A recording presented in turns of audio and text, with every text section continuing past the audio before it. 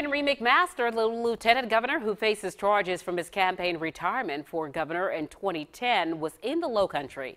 McMaster was addressing the Moncks Corner Rotary Club today. He ended his campaign with significant debt, and according to law, he violated the excessive contribution statute by raising more than $72,000 from donations to cover that debt.